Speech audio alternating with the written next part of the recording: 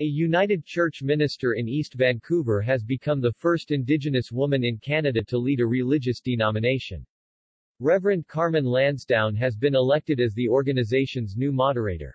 Lansdowne is a member of the Heiltsuk Nation. In an interview, the Reverend said that churches should be speaking truth to power on issues such as indigenous rights, housing, poverty, and climate change. The United Church was the first to apologize for its role in residential school abuses.